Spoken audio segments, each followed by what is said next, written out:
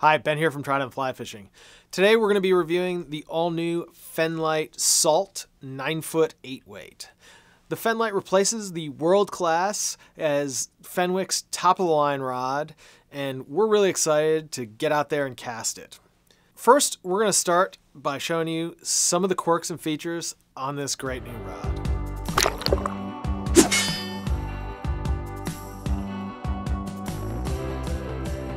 Starting at the bottom, you can see that this rod has a really large fighting butt. I think it's going to be fine for guys who are really fighting a lot of fish, but some people might find it actually a little bit too big. It's also got a pretty standard double up locking reel seat with a carbon insert. That moves on to again a fairly standard run-of-the-mill full wells grip, which is really what you'll see on virtually every 8-weight, particularly those made overseas. Nothing special here. Then we've got a nice matte, sort of a grayish, bluish blank. I think it's a handsome looking rod, but again, fairly standard for an overseas built rod. Fenwick does add alignment dots, which we like, and then it's got two hard chrome stripping guides followed by hard chrome snake guides all the way at the top. The story here is pretty much a standard overseas made build, but I'd say that the cork is probably a little bit nicer than some of the lower end overseas rods. Now we're gonna head down to Florida and give this thing a swing. So the story with the saltwater Fenlite is a lot like the story with the freshwater version, except this one's not quite as fast. Basically, we've got good performance across the board, not great, but a rod that's just a little too heavy for us to really, really recommend it. Starting at 40 feet, you've got nice performance. It's a good feeling rod. It's not as good as like the really top rods at short distances, but still pretty good and what you'd expect for that price point. But again, that swing weight is just way too much. The story is pretty much the same at 60 feet. You've got good overall performance, not top notch, but certainly respectable for the price point, but just too heavy of a rod. Once you get back to 80 feet, the Fenlite Salt has decent performance, but I didn't like it as much as some of the other rods we cast today, like the Sage Maverick. It's a nice price point rod, but we really just wish it were a little bit lighter. Overall, the story on this Fenlite Salt is very similar to the freshwater version.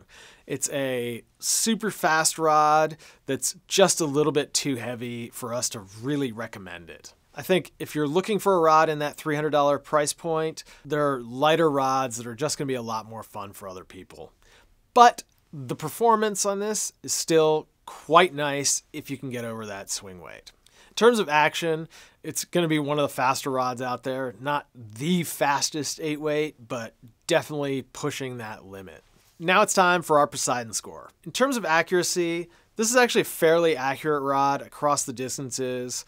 I'm going to give it an 8 out of 10. In terms of components, this is a pretty standard overseas build, and it's definitely nothing special. I'm going to give it a 7 out of 10, just like we did for the Streamflex freshwater version.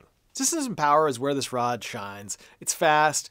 It would make a good rod for your run-of-the-mill striper fishing, but again, a little bit heavy. That said, I did prefer the Sage Maverick to this at longer distances. All in all, I'm going to give it a 7 out of 10.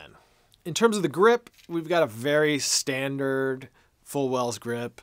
It's fine, nothing special, 7.5 out of 10. In terms of looks and workmanship, again, Standard overseas rod, I'm going to say it's a 6 out of 10.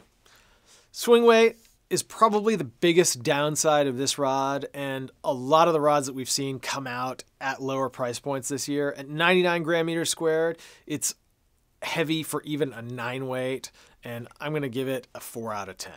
In terms of value, at $350, it is a reasonably priced rod, but I also think there are probably better rods in the price range. And so I'm going to give it a 6 out of 10. In terms of cool factor, there is literally no one talking about this rod, and it scores a 3 out of 10. And that leaves us with a total Poseidon score of 48.5, which definitely does not put this amongst the top rods we've tested.